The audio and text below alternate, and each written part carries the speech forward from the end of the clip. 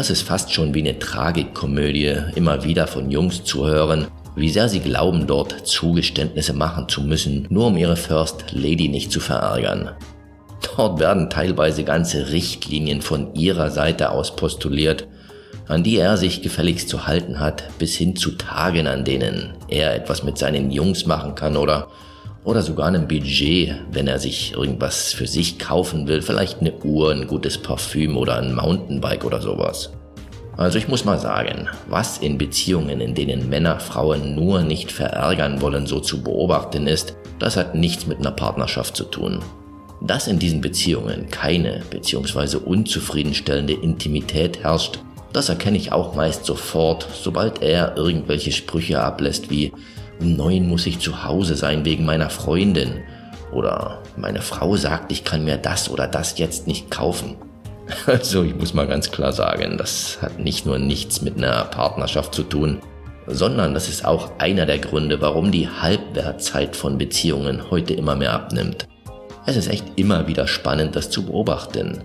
Viele Männer wollen halt einfach ihren lieben Frieden und ihre Ruhe haben.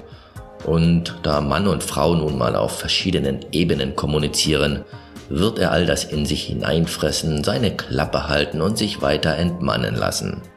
Ganz ehrlich, das scheint heute der widernatürliche Status quo zu sein. Der Status quo von extrem vielen Beziehungen da draußen. Und Männer schreckt sowas naturgemäß ab. Hinzu kommt ja noch, dass Männer, sobald es dann zur, naja, zur erwartenden Trennung kommt und vielleicht noch ein gemeinsamer Hausstand und Kinder mit von der Partie sind, vor Gericht wie Dreck behandelt werden. Sie halten also besser ihre Klappe, halten sich an ihre Richtlinien, tun alles, damit sie nicht verärgert wird und auch alles, damit sie selbst keine Entscheidungen treffen müssen.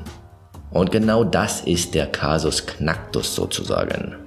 Männer haben immer mehr Schiss, eigene Entscheidungen zu treffen, gewissen Führungsanspruch an den Tag zu legen und ja, ganz einfach das zu tun, was sie tun sollten, nämlich das polare Gegenstück zur Frau zu verkörpern. Ich weiß schon, dass die Hauptsache mein Frauchen ist glücklich Nummer vollständig Usus in der modernen Hollywood-Popkultur ist, aber das ist eben nicht das, was zu harmonischen Beziehungen führt.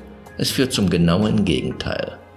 Zu viel Harmonie, zu viel Anpassung an sie und zu viel von der Frauen wollen von Männern auf Händen getragen werden These ist einfach mal schädlich und du erreichst alles andere als Anziehung.